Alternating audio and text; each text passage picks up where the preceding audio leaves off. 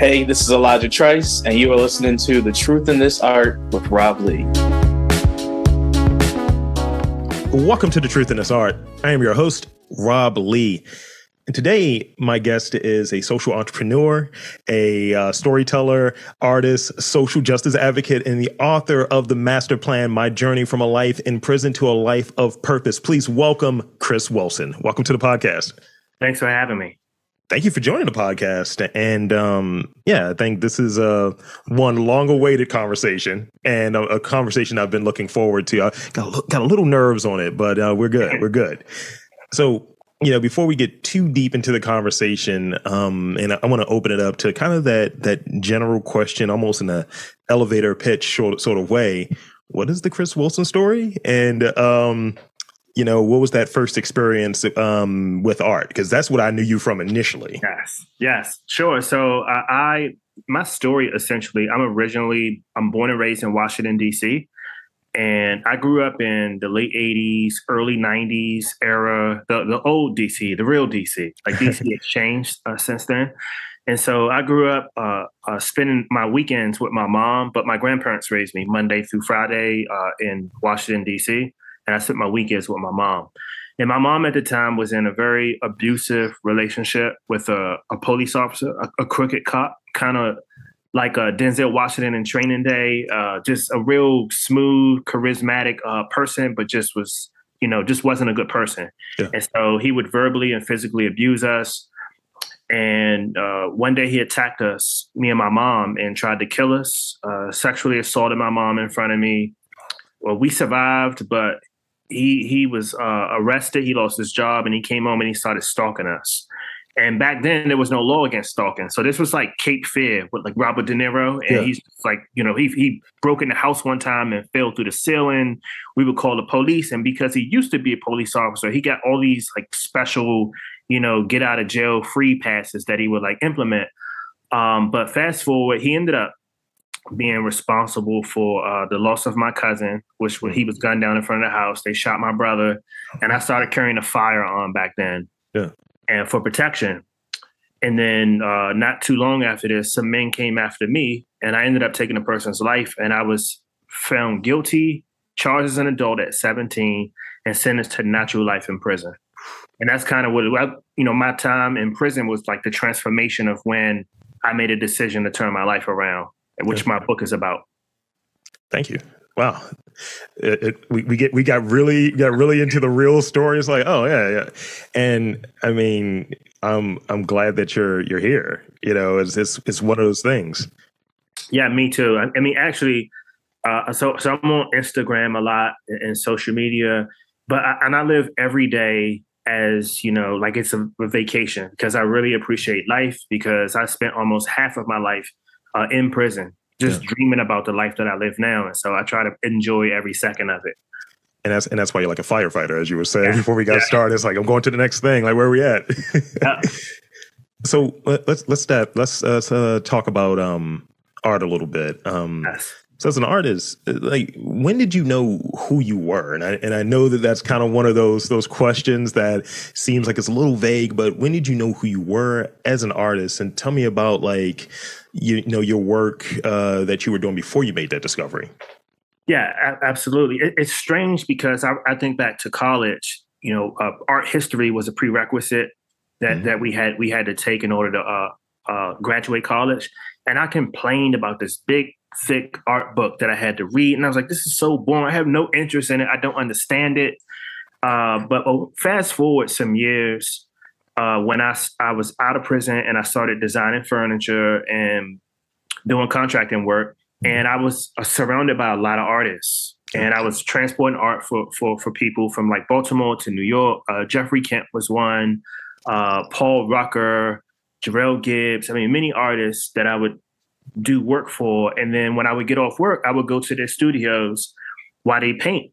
Yeah. And they would tell me about what the work was about and and that's that's what kind of intrigued me for a long time about you know about race in America, about black culture, about you know uh, all kinds of things, oppression, and you know, maybe a year after that of, of doing that, uh, Jeffrey Kent for my birthday gifted me some art lessons. And he was like, "Is something in you?" I was like, "Why can't you give me some money for my birthday?" no, he says you have something in you, and I want to give you some lessons. And I took, he said, five lessons. I took two, and I fell in love with art.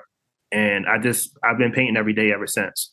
Wow it, it, it, takes that it takes that person that's kind of like they see it and they're like nah uh, I, I, could give you this but it, it's like this joke that i like where if someone was given a bunch of money like who's going to start a business and who's going to buy a bunch of sneakers and it's like I, I don't know i don't know but i think when you have when you're in one of those kind of like earlier stages and you're like i'm doing this and they, there's a person that's like around that that's in that kind of capacity of being a a, a big brother, a, a relative, or someone in that sort of like role, and they're like, "No, I'm going to give you this.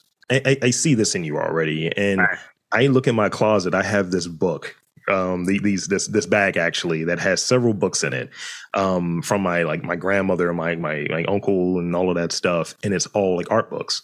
Yeah, you know, going back to like 1990 it's like, yeah, you know, you're five, but you're going to be a next great artist or what have you. And, uh, you know, it was kind of that, that sort of like motivation. We couldn't afford like lessons or something, but it was that kind of nudge, like go after it and, you know, putting you in a position or giving you the, just the umph to go for it. Yeah, totally. I mean, that, that was the relationship uh, with Jeffrey and still is the relationship with him. Yeah. Shout out to Jeffrey. Um, yeah.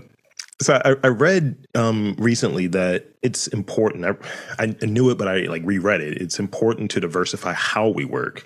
So, I, so you, your medium is mostly in like what space? Like, are you, are you in digital? Are you in analog?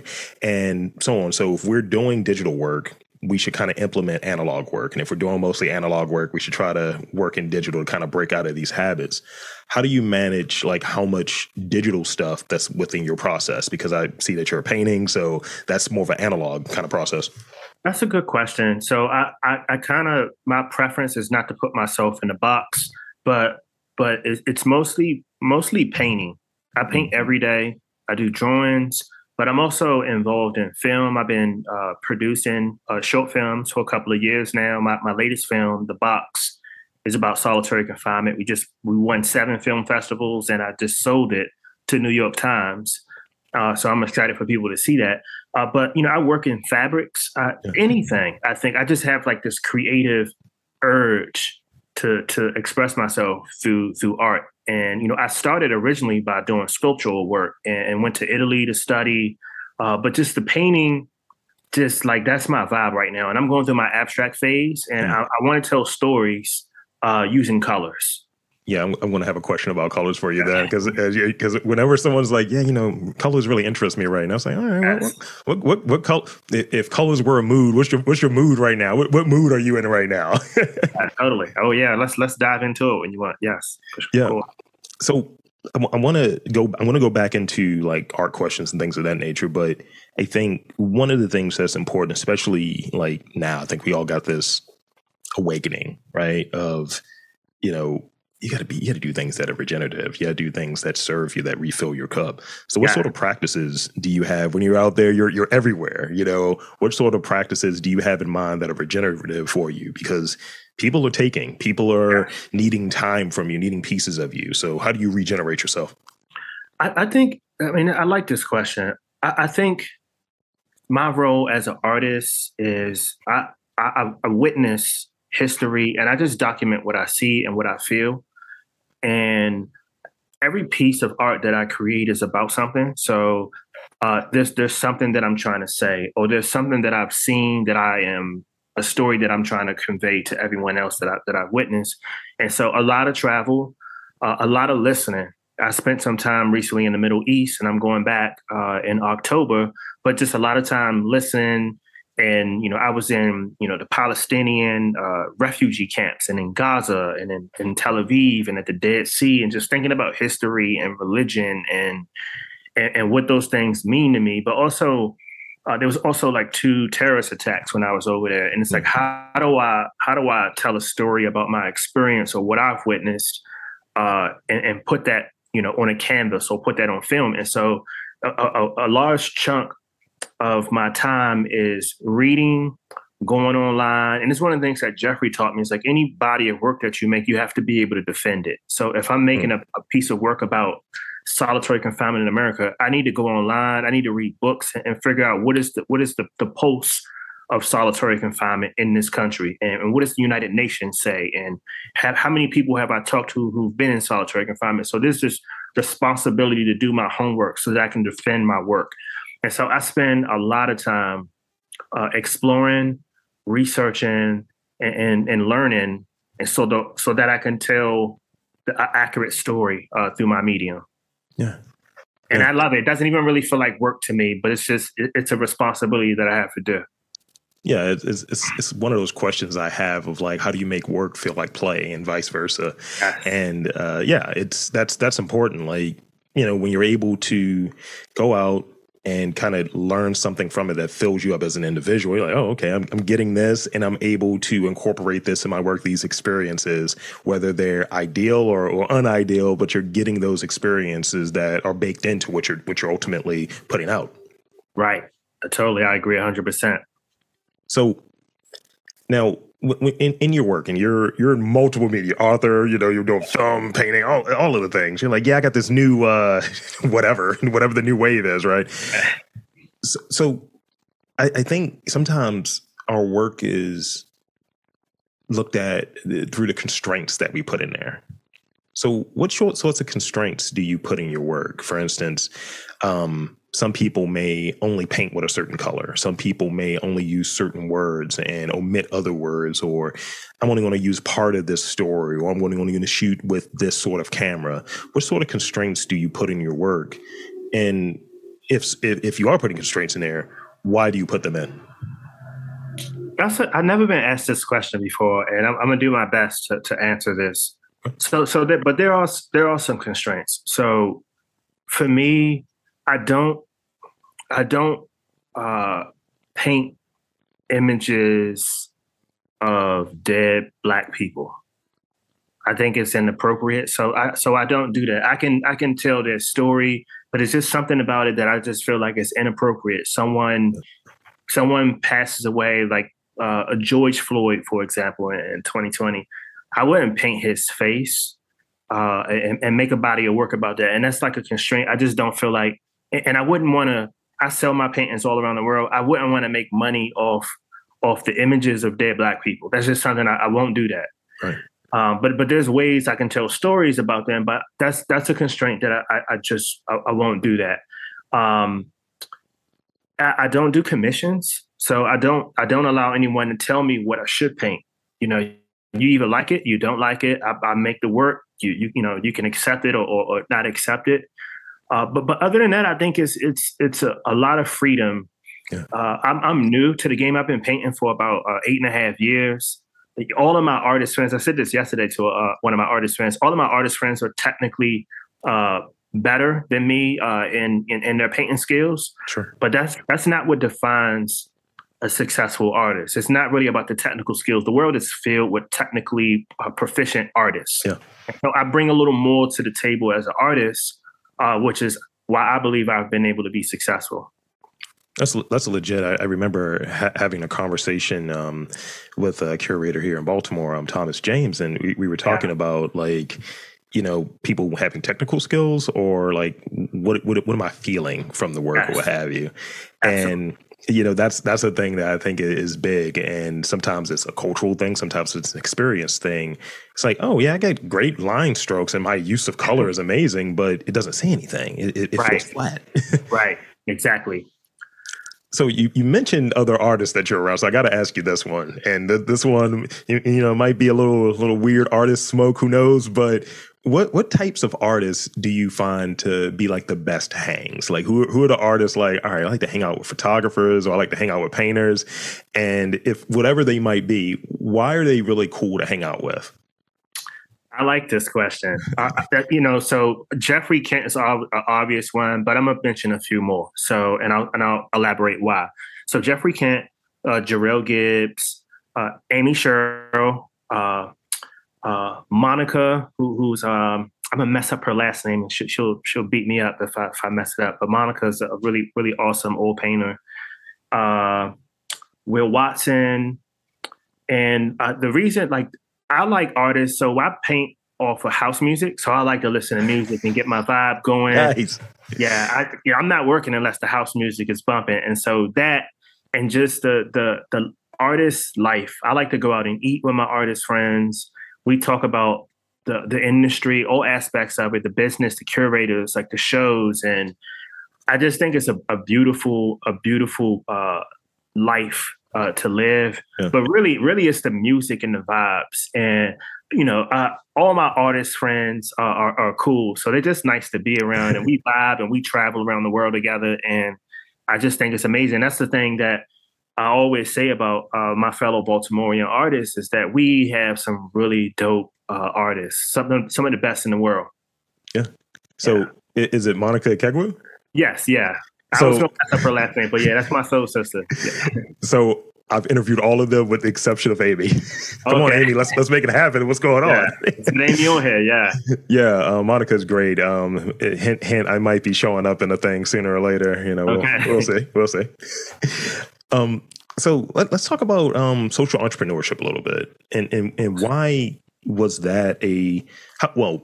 How do you define social entrepreneurship, and why did it resonate with you? Sure. When I was in prison, and back when I was about nineteen, I was two years into my to my life sentence. I've always been an entrepreneur my entire life, selling candy, cutting grass, paper routes, anything that you can think of. I was hustling and doing it my entire life. And when I got in prison, I started to I started to understand uh, the system that was set up against us, like Black folks specifically. And I always knew that I was an entrepreneur and I knew that that's what I wanted to be. So I started to think about who would I be like years from now, age 40. I, I knew I wanted to be an entrepreneur, but I also thought back to what my grandfather used to tell me about about the struggle of growing up in Mississippi and and racism. And so I knew that I wanted to help people. And so I didn't know what the term social entrepreneurship meant till many years later. But. I wrote on my master plan, I want to start a business uh, that helps people. I want to build this business empire, but I want to have, create jobs for people. And I was thinking back the conversations like my uncles and my school counselors would tell us, you can do anything you want in life. You could you can get a job, you can start your own business, and then they would leave. And I said, well, I don't even know the first thing about starting a business or, or even getting a job or writing a resume. And so when I wrote up my plan, I said, I want to be the person that that doesn't leave the community that will go in on a sunday and sit down with, with people and, and, walk them step through step of how to build something how to do something or be that inspiration for folks. And so that was that was the feeling at, at age 19 and so i was released from prison at age 32 mm-hmm. and so i went back to college. I went to business school and i discovered the terminology of social entrepreneurship. And it's you know it's triple bottom line. You know you make profit you can improve your environment and you can help people and so I just started operating from that principle. If it wasn't a, a, a, gig, like when I had my construction company, if it wasn't all my men and women working on the site and being paid, I was walking away. Yeah. And so everything that I do in life, even with my art sales, like I, I take majority of my proceeds and I put it towards some good. And so I define myself as a social entrepreneur. I love to hear that. And yeah, yeah, it's it's one of those terms that people are using. People use impact and all of that, and when sometimes the proof isn't in the pudding, but the way that you're describing it, you broke it down in a real sense of this is tangible, this is real, this is how I want to do it, and I think a lot of times when people describe it, they're very nebulous, and you were not. You were very to the point, so much appreciated. Yeah, thanks.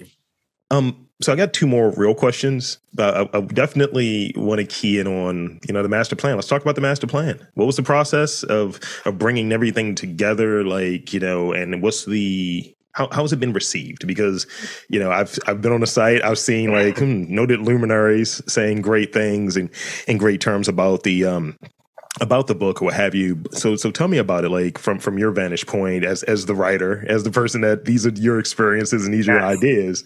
Um, yeah. What was the process and how has it been received? Sure. So I, I've been journaling since I was ten years old, and when I went away, I journaled every day. I still journal every day, and so I wrote down at the age of nineteen that I wanted to publish a book that inspired people. Hmm. And it was tricky for me because at the time that I wrote it down and said that I wanted to write this book, I hadn't done anything really positive in my life. I, I essentially messed up my whole life up until like that age. But it also gave me some motivation to do some good in the world, do some good to myself and understand myself. And so I, I, I, wrote up this plan and sent a copy to my grandmother and to my judge. And so th- they became my accountability partners. Yeah. And so I started setting goals for myself. I wanted to get a high school diploma, a college degree. I wanted to embrace therapy and learn my, learn about myself and study business. And so I started doing all these things. And fast forward to maybe 2013, I've been home for about a year and some change. And I had started, uh, I had two companies at this time. I was in business school. I had won a bunch of awards, including a presidential award from Obama. And I just I was doing the work. And I was yeah. at a point in my life where I was doing what I planned to do. And so I felt I was ready or worthy to be able to tell my story at that point. And so I worked really hard uh, to get a book deal. And it, it, required me for a couple of months just jumping on the BoltBus in Baltimore and going up to New York and just just for meetings and calls and just trying to trying to uh, negotiate a deal. And it took me two and a half months, and I was able to get a book deal um, and published my story. And it's been wildly successful. And it, you know, I've sold the book in other countries. I've, I've traveled all over the country, all over the world, actually. And it changed my life. And I'm happy to say that the book is changing other people's lives because I've turned the book into a course yeah. that's now in over 100 prisons.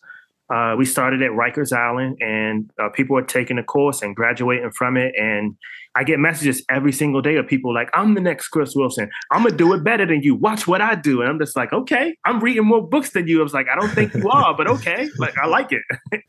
that's that's beautiful, man. I love hearing that. Oh, wow, that's that's great. I, I, mean, I'm just I'm sitting here like, man, I'm, I'm inspired. I'm in awe. Like, shout out to you, man. Thank you, thank you. So I got so this is the last one I got for you, and this this may be one of the deeper ones, but we'll see. Um, and I think the nature of the question is kind of that in itself. Um, so sometimes there's we we see the peak of something, and there's a much larger body under it. So it, it's almost like a warning uh, or indication for us to dig deeper. So right. when do you know that you've gone deep enough on a topic, whether you're exploring it through painting, whether you're exploring it in film or in writing, when do you know that you have hit bedrock or when do you know that you're going to dig deeper? Wow, that is a deep question. I think speak, speaking of art and, and painting, I oftentimes describe it as a weapon.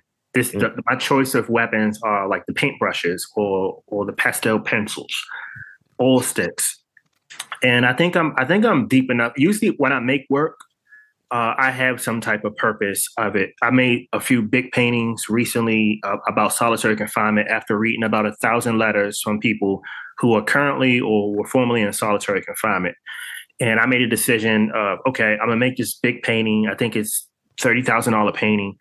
And percentage of the proceeds I'm gonna donate to uh, Solitary Watch and another organization who uh, advocate against solitary confinement. And I just having that thought in my mind, I put my house music on and I just worked. I worked and I paint and I dug deep and I and I thought about, you know, what the United Nations said about solitary confinement is torture and, you know, amplifying the voices of people who are, are advocating against this practice. I think in a situation like that, I feel like it's is deep enough.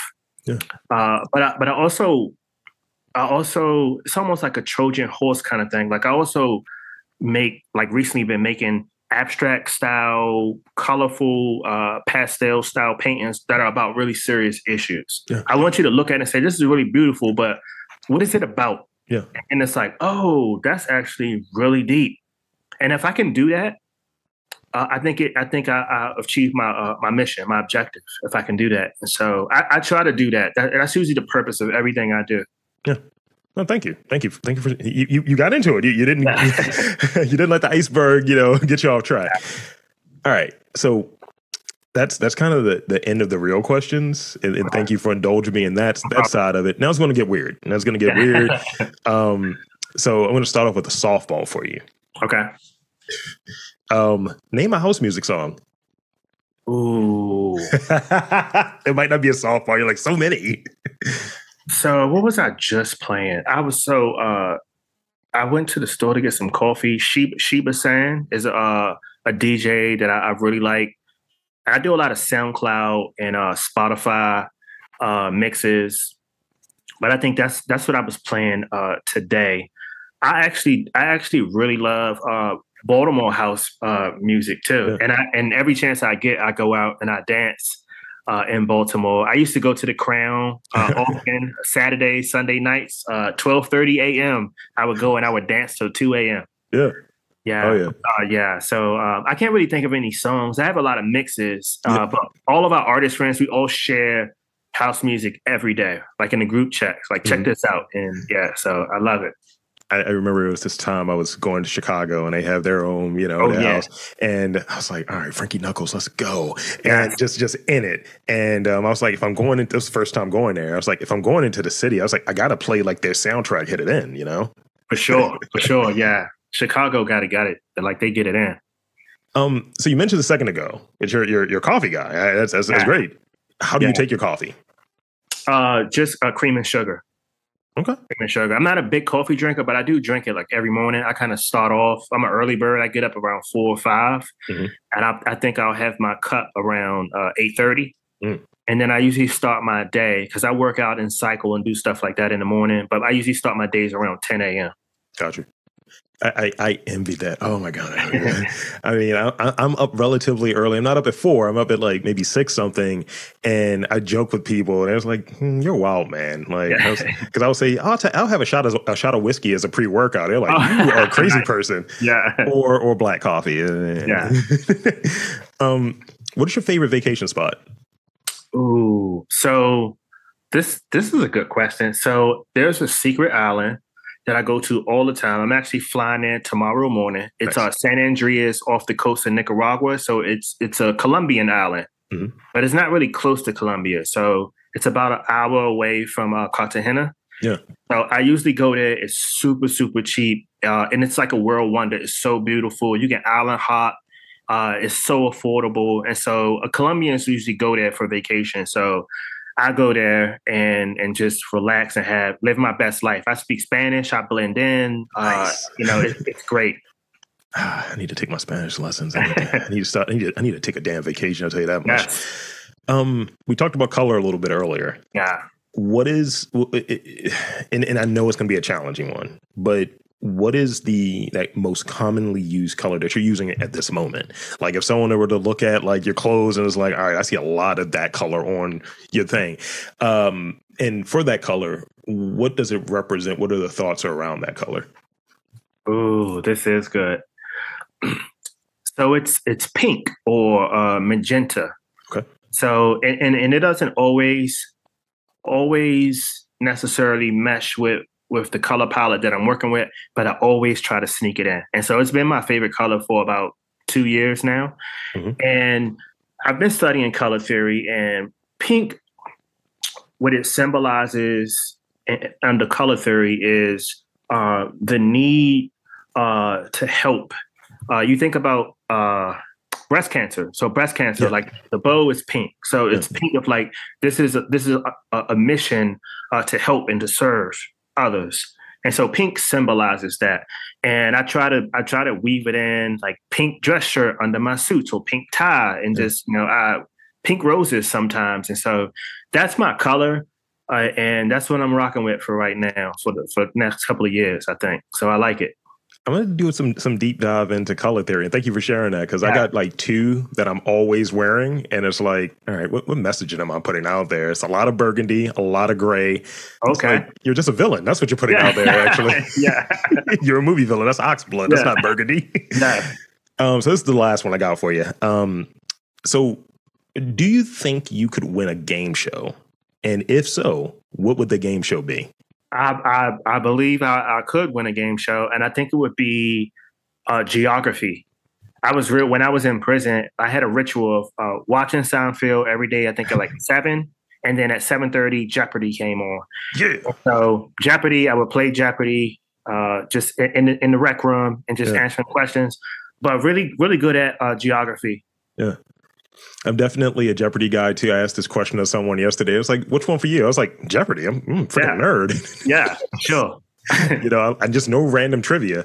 Um, so with that being said, um, thank you for coming on to this podcast. And I want to invite and encourage you to tell uh, the folks anything that you feel like we missed here. The floor is yours. Share whatever you want to share.